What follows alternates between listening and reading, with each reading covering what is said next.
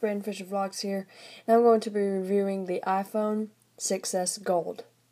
Um, a one month review, not really a whole review, just a one month how it's been doing for me, and yeah, let's get into it. Um, I have cracked it once right there, kind of see it right there, and then up here where the case is there's a tiny, tiny mark. Um, had it for one month. Um, like I said, it's been doing really good. Camera, no damage. The rest of the screen is okay. Scratches a little bit. So there's oh my gosh thing the um ID thing the uh, Touch ID is so fast that I have to click it with my fingernail there. That's my girlfriend. oh crap. That's the screen. It's been doing good. And here is there's my background.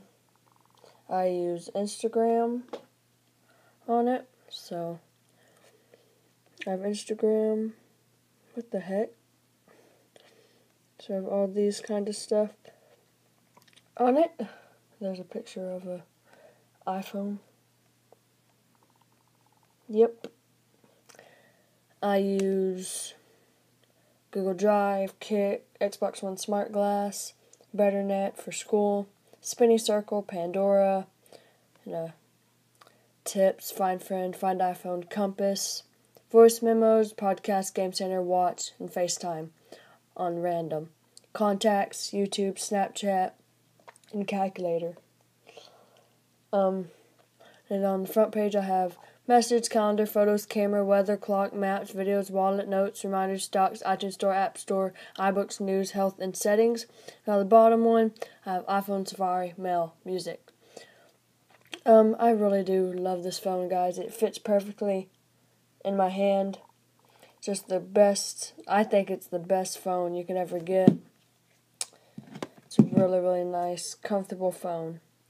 Um, and if you looking for an iPhone, get the iPhone 6s. I prefer the gold because I just like gold. Um, it's been doing really good for me.